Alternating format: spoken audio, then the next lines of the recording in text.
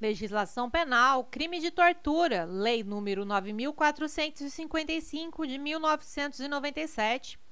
Ao final das questões, nos diga se você errou ou acertou. IBAD, Agente Penitenciário 2017.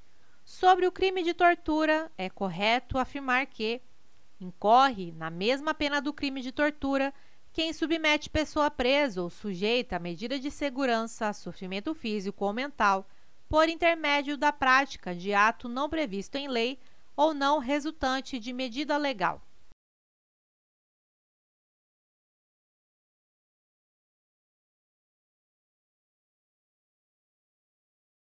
Item correto. Lei número 9455 de 97, artigo 1 parágrafo 1 Na mesma pena, reclusão de 2 a 8 anos, incorre quem submete pessoa presa ou sujeita a medida de segurança a sofrimento físico ou mental, por intermédio da prática de ato não previsto em lei ou não resultante de medida legal. IBAD, Agente Penitenciário, 2017. Sobre o crime de tortura, é correto afirmar que aquele que se omite em face de uma conduta que configura tortura quando tinha o dever de evitá-las ou apurá-las incorre na pena do crime de tortura.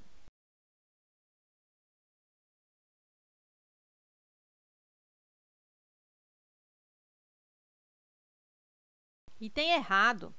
Lei número 9455 de 1997, artigo 1 parágrafo 2 Aquele que se omite em face dessas condutas, quando tinha o dever de evitá-las ou apurá-las, incorre na pena de detenção de 1 a 4 anos.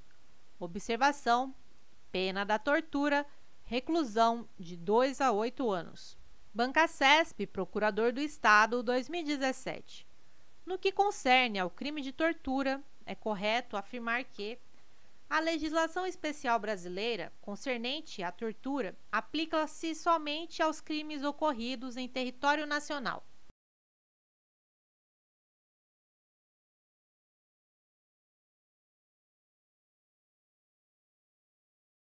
Item errado.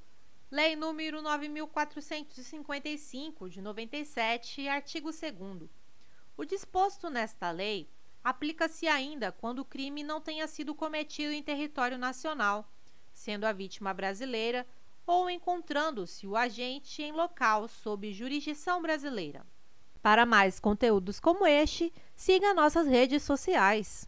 Acesse a descrição desse vídeo para baixar totalmente gratuito o e-book da aprovação. Nele você encontrará 100 questões em PDF com áudios e acesso aos vídeos. Avance rumo à sua aprovação.